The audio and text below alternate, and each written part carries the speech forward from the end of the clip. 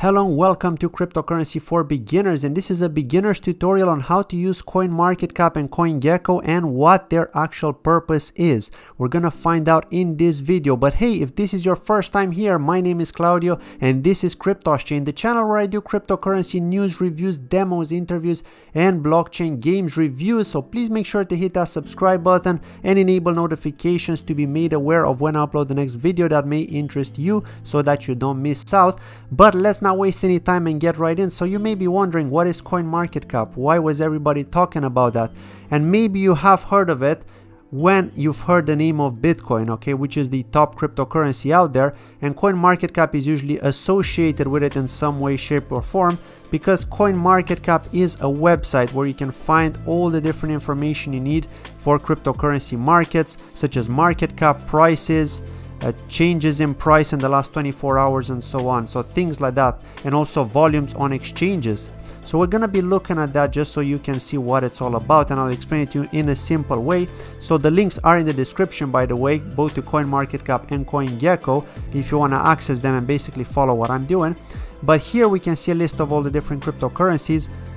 By market cap okay? So they are all ordered by market cap. And as we can see bitcoin is number one okay because it has the highest market cap We've got the price, we've got the volume in the last 24 hours, and you may be asking yourself, what is this volume for? Well, this is the average volume across all the different exchanges where you can trade Bitcoin. Then there's the circulating supply of the cryptocurrency of Bitcoin, so that's 17.96 million and the change in the last 24 hours means the change in price across all the different exchanges again this is an average so this price could actually change very very rapidly and it does not guarantee that you could actually get in at this price if you are to buy it because different exchanges have different prices uh, for a specific cryptocurrency and here we can see the price graph in the last seven days. It shows you how it looks here. And as you can see, it's very volatile. Okay, all cryptocurrencies are volatile.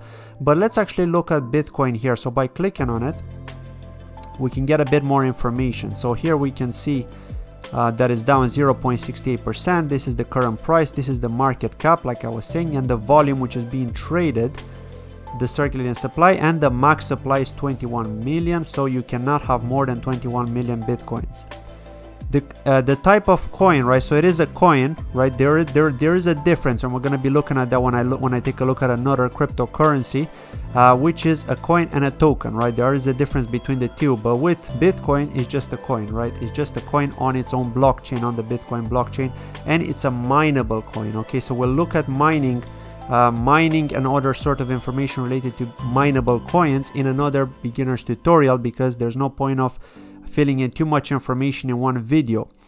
Uh, so if we go to the markets here, we can see all the different exchanges where you can buy Bitcoin from or sell if you have it, right? So all of these different exchanges and based on volume here, right? You can see they're all ordered based on volume.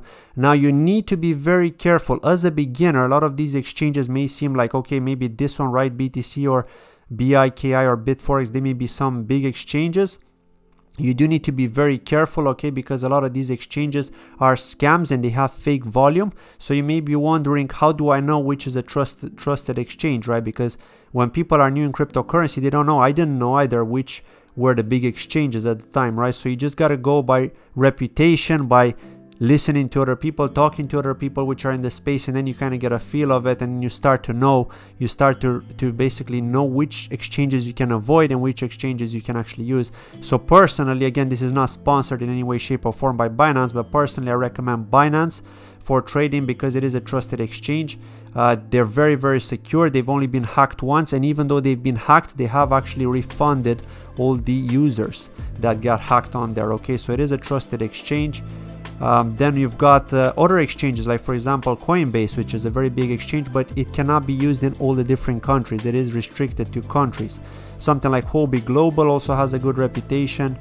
Um, other ones like Bibox also has a good reputation. So quite a lot of these have good reputations like Coinbase Pro like I was saying uh, Bitstamp is also a good exchange. Bithumb has a very good reputation in Korea.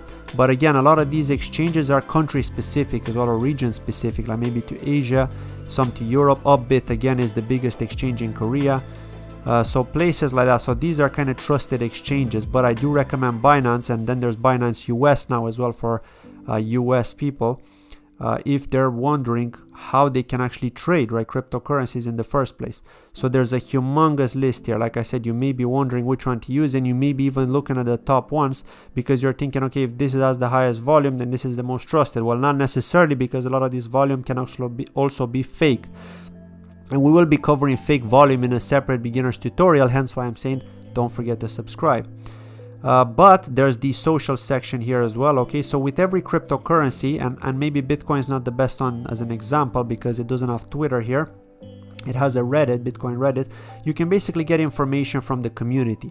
And if we're talking about general cryptocurrency projects you get information from the teams in the social section. And you can even join their twitter page or reddit to be kept up to date with all the different updates.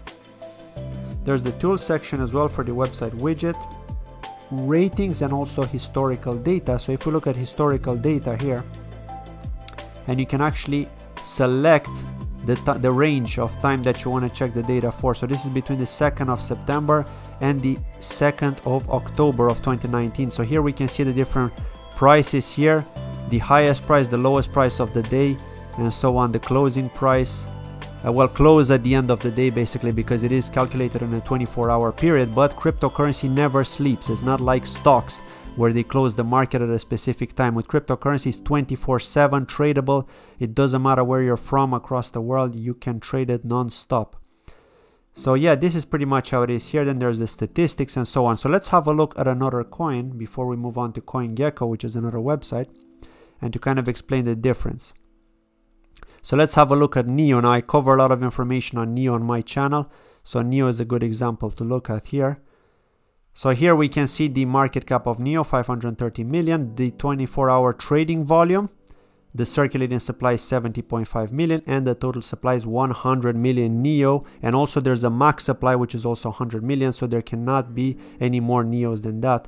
And again it is a coin but it's not mineable okay? Because it is of a different type of consensus. And we'll be talking about consensus too in separate beginner tutorial videos to kind of explain that to you and this is a graph here of the different price targets uh, that it had and that it reached. So we can see here back in April April 2017 it traded at like 19 cents and then we had a bull run at the beginning of 2018 end of 2017 as you can see the price was trading at 160 130 and then even 160 here we go.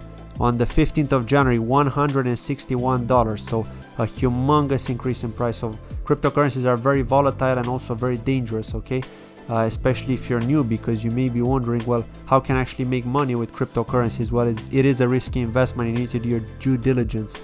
So it's uh, it's very risky and it's not for everyone right? Not everyone can stomach a drop a 20% drop in 24 hours right? It's not for everyone.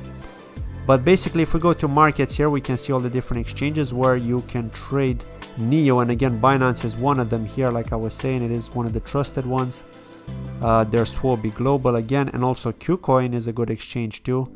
Uh, Bittrex is also a good exchange. So here's KuCoin. Here I also recommend this. And again, you can find links in the description for the referral if you're interested in setting up a, an account on Binance. It will really help, or also on KuCoin, simply because uh, I have been using those exchanges personally. And uh, yeah, basically tells you the 24-hour volume and so on, and also the prices, as you can see here and so on. But if we go to the social section, of the difference between Bitcoin and Neo is that Neo is actually created by a team, right? So everyone knows who the team is. It's visible on their website. And again, the website can be accessed by going here. And as you can see, the rank in terms of market cap, it is ranked 20th. So you go to the website, it takes you straight to the website. You can get a lot of information on that. And I've done a review on Neo, by the way, if you're interested to find out more. Uh, but there's the source code here, right, which takes you to their GitHub page where you can see the open source code, what programming languages it was developed in, and things like that, and how many act active contributors uh, are contributing to the code, and so on. So yeah, basically these are all the tweets that they've got here, and you can see some of these tweets are really new, like nine hours ago, uh, posted on the 1st of October, and so on. So things like that right? This is where you can see more information about a project. This is where you can get an idea about it right? And then on reddit as well if you want to check certain information. If you want to be kept up to date you need to join this and also telegram channels right? You normally join their telegram channel which you can get from their website if you're interested in a specific project.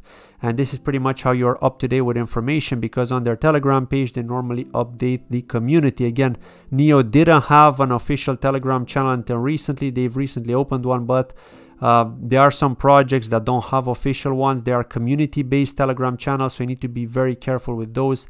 There can be scammy ones out there as well, which can steal your money if you're not careful, especially if you're a beginner. Uh, so just be very careful with that and make sure that it is an official one and it is kind of hard to tell if you're not sure but when you're unsure always ask okay people are happy to help you especially on the reddit page the community is always happy to help and if you get a few replies then and they all say the same thing it should be pretty much legit. Not guaranteed but pretty much right? So yeah this is pretty much what it is here. And again you can even change the 24 hour price target so you can see which were the biggest gainers. This is up 6.9% in the last 24 hours and the biggest losers.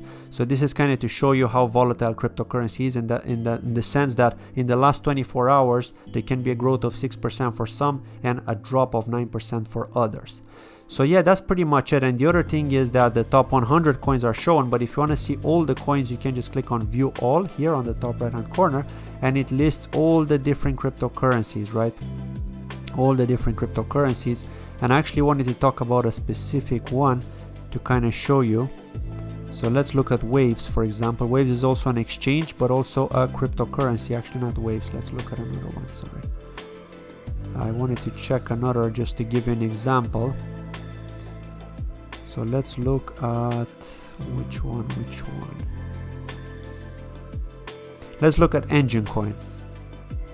Okay, so Enjin Coin is actually a token on one of the other blockchains. Okay, so it doesn't, it's not running on its own blockchain, right? So this is the difference here. As you can see, token. Okay, and in the other ones we saw coin. So this is the difference. A token means that it's using an existing blockchain. It doesn't have its own blockchain. And in this case, I know that it is the Ethereum blockchain. I'm not sure how you can actually tell from CoinMarketCap. I don't believe there is a way. Uh, but if you go to their website, you can get information on that and they basically tell you that we are on the Ethereum blockchain. So hence why you need to be checking the website for this kind of information. But uh, yeah, CoinMarketCap pretty much tells you what it is, right? So it's a coin, it's mineable, and on this blockchain, there are many tokens, many projects which have developed on the Ethereum blockchain. And that's why they're called tokens, crypto tokens. So that's that about coin market cap pretty straightforward but not all the coins that exist out there or tokens, a lot of them can be scammy, are on CoinMarketCap because they need to meet certain criteria, certain conditions. Hence why we've got this other cryptocurrency uh, information exchange here and kind of like um, portfolio information, trading information, graph and kind of things like that. And it's called CoinGecko. Okay, so this is again top 100 coins by market capitalization. It has all the different information and graphs uh, on the different cryptocurrencies out there but we've got 5,787 in this one at the moment and 383 exchanges listed. So a lot of these exchanges or coins aren't even listed on CoinMarketCap because they don't meet the criteria, but CoinGecko are happy to list them. Uh, and these two are actually the two biggest places when it terms of the two biggest websites uh, for checking information on cryptocurrencies. So here, if we go to, for example, to um, where should we go? Let's go to the coins, explore all coins. And if we go by market cap and we want to go to less than 100,000, we can see all these really, really small ones, right? So when we order by that, we can see some of these which are very, very small like 99,000 market cap right? That's very small in cryptocurrency. So a lot of these many people haven't even heard of them. A lot of them can be scammy as well. You need to be very careful uh, when looking at cryptocurrencies to invest in. Normally people look at the top 10 but then once you get more experience you start to understand uh, more about this and you kind of know where to look what to look out for and things like that. So again i'll be trying to cover as much information to help you as possible in my beginner tutorials but this is pretty much how it is here so as we can see let's actually go back here just to have a look at uh, bitcoin again okay so we can go to bitcoin and it does look a little bit different okay compared to coin market cap but it tells you what uh, what information you can get here. There's the website bitcointalk.org, Facebook, Twitter, the GitHub page. Again, information on the market cap, trading volume, and so on, right? So you can get all these kind of information just like we could see on coin market cap, except for exchanges, it looks a bit different here. So there's another tab. You can even get a mining calculator. So there's some extra information here when it comes to CoinGecko compared to coin market cap but both websites are good it's just you can get more coins on this more information on the coins uh, that are out there. And of course they've listed 5787 so quite a lot of them out there right? A lot of them. The question is how many will actually survive right? So that's a big question and we'll be talking about that in other videos. But uh, yes this is pretty much it for the beginners tutorial. Let me know what you think. Leave a comment below if you have any sort of questions if you're not sure how to use coinmarketcap what sort of information are you looking for which doubts do you have uh, what would you have liked me to cover when looking at coin market cap What sort of questions or doubts did you have? Things like that, right? Just, let me know in the comments below and I'll be happy to answer.